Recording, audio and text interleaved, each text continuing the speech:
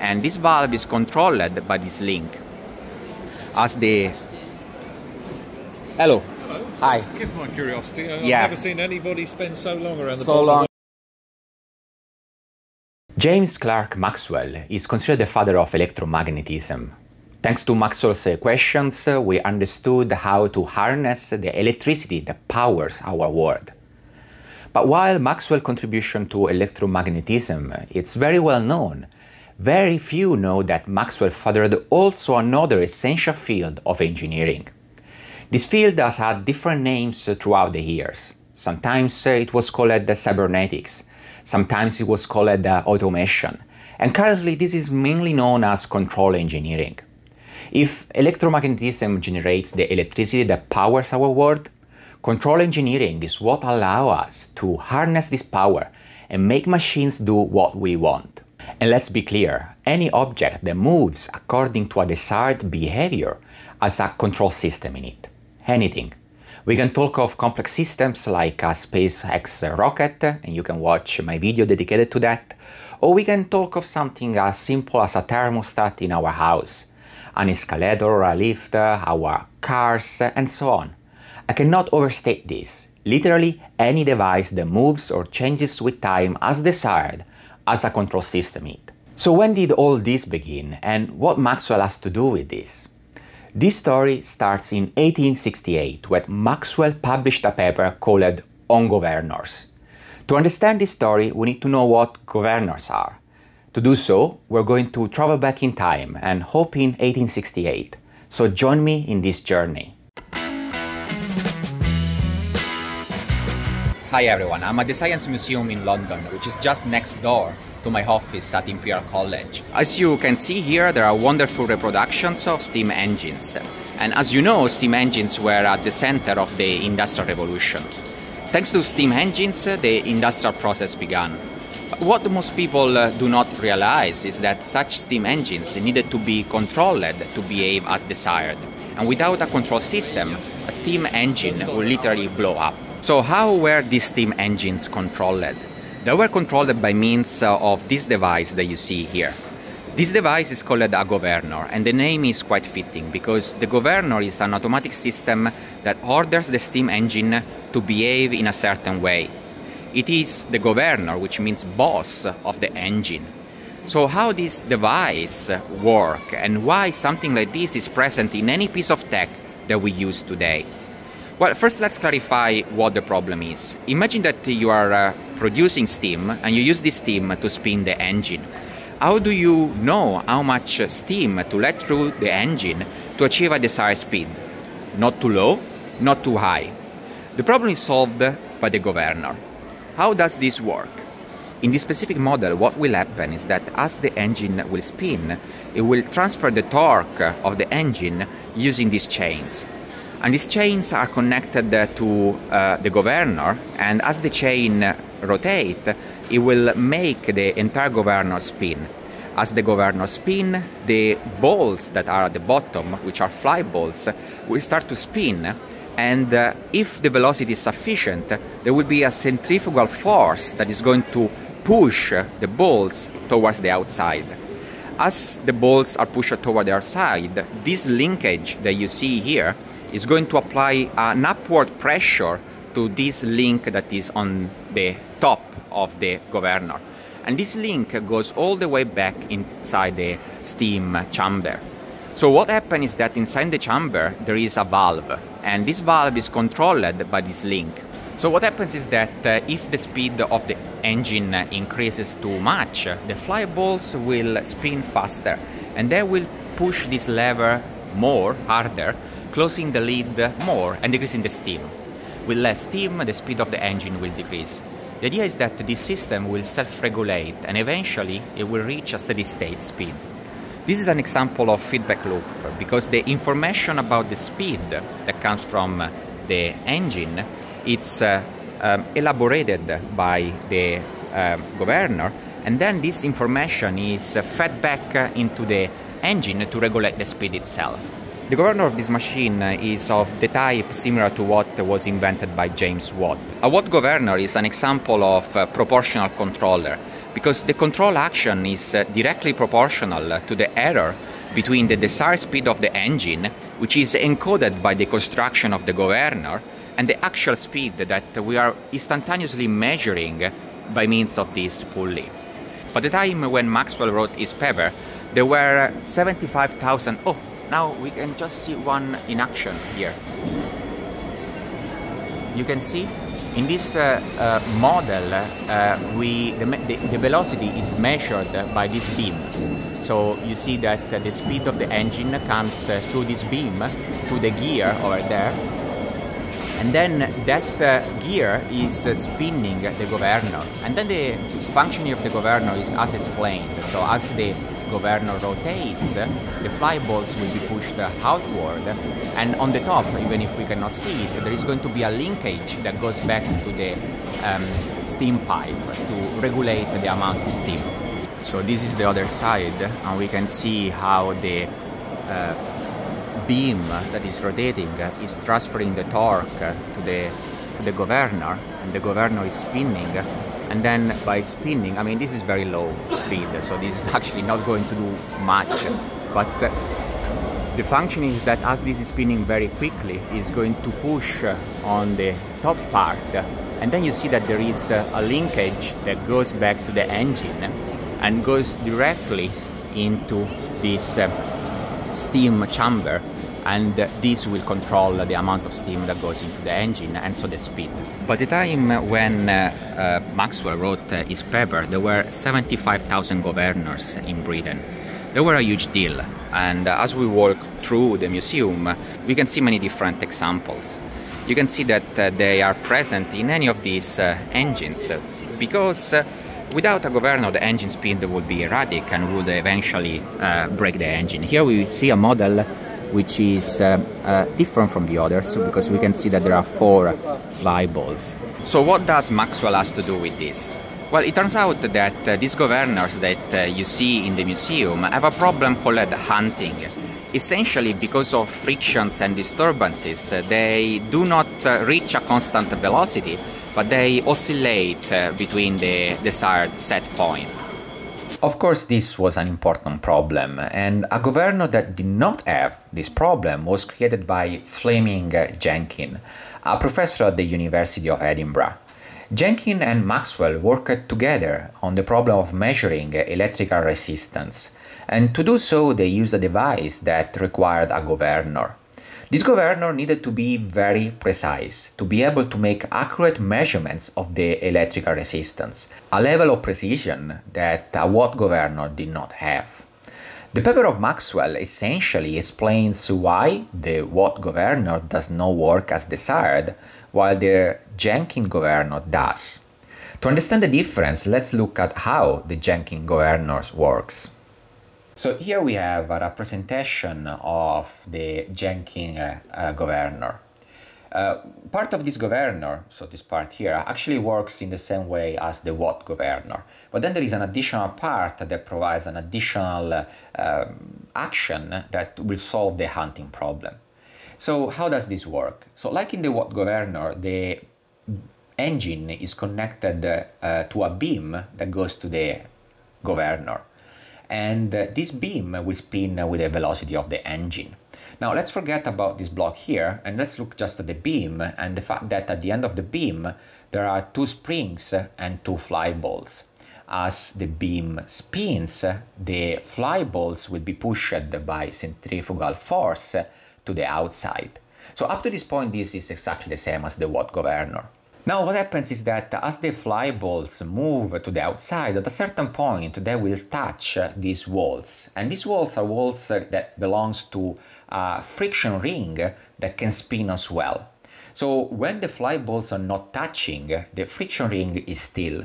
But once the fly balls touch the walls, the friction ring, they will uh, sort of lock with the friction ring and they will start to make it spin. And so this friction ring will spin.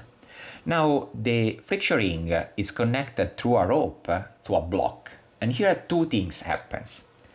One thing is uh, uh, a proportional action. So as uh, this rope is pulled in this direction, this block will rotate and then through a gear that transform rotating motion into linear motion, this uh, force uh, is going to be converted into a force in this direction at this point here. And now this uh, purple block that we have here is actually a band. It's a brake, it's a brake band. And this band is going to put a force on the beam.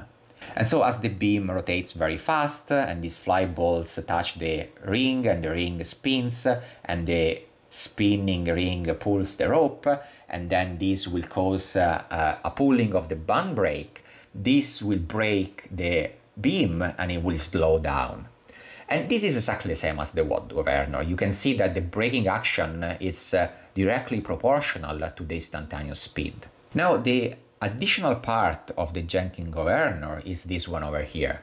As the rope is pulled, in addition to rotate this uh, block, we also pull the rope which is uh, that goes around this block. And so this uh, rope that is actually then connected to a weight will uh, go to raise the weight, right? Because we're pulling the rope in this direction, so we're pulling the rope in this direction, and this will pull the weight in this direction.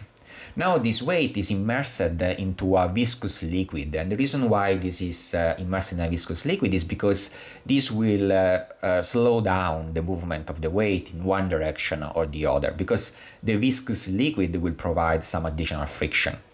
Now the idea here is that uh, as uh, you have uh, an error in the way in which you're controlling your velocity, this error that is pulling your rope is going to raise this weight. And by raising this weight, you are storing potential energy into the weight because you are increasing its height. So what happens is that uh, once the beam starts to slow down and the fly ball slow down and so the ring will slow down, the proportional action will slow down.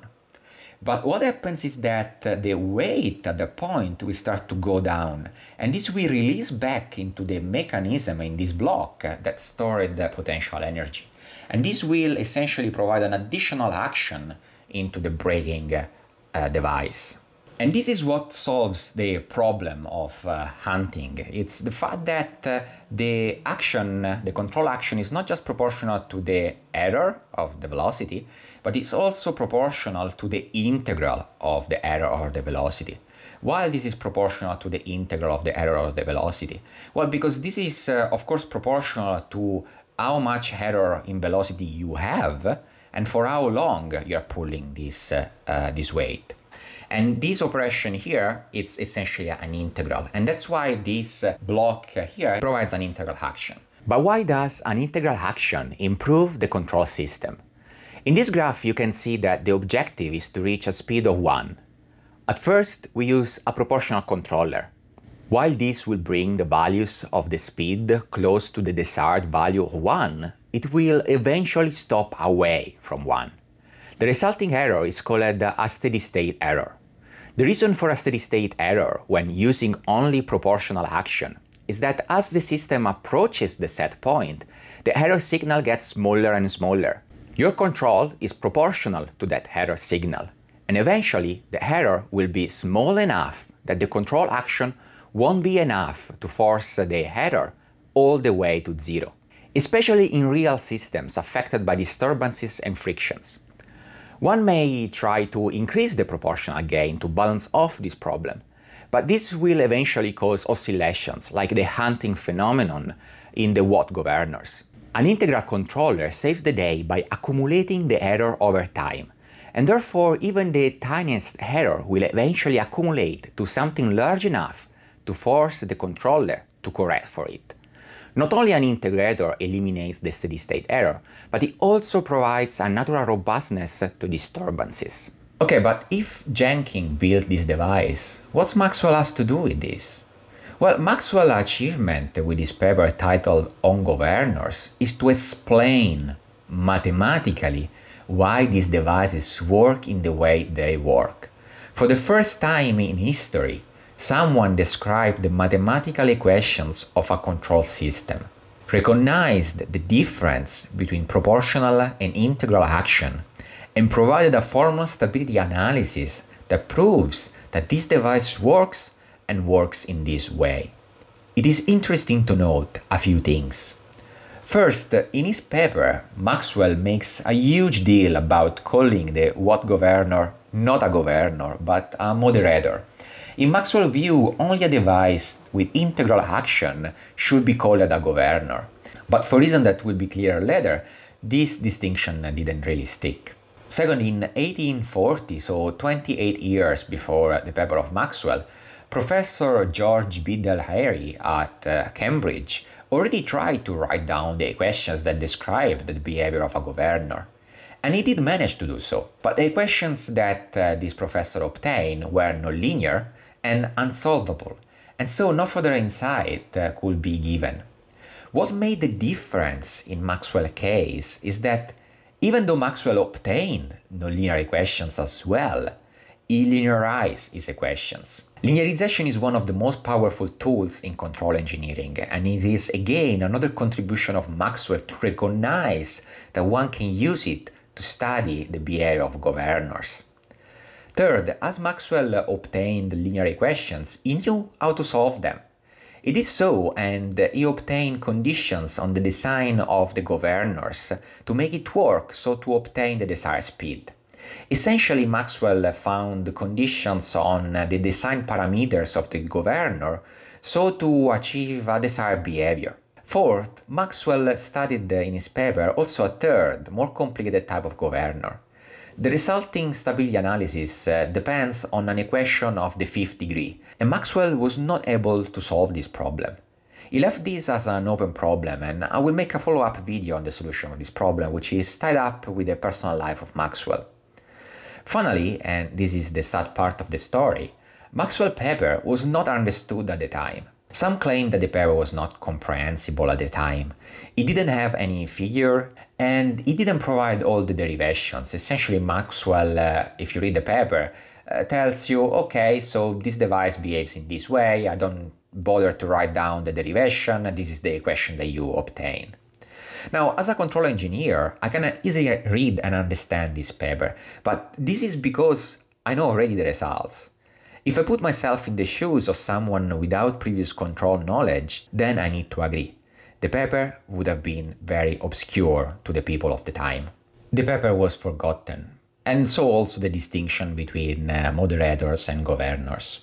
Only in 1948, Norbert Wiener, the father of cybernetics, wrote uh, a treatise called Cybernetics or Control and Communication in the Animal and the Machine, in which brought up attention to the paper of Maxwell and recognized that Maxwell's work was the first formalization of what became the field of control engineering.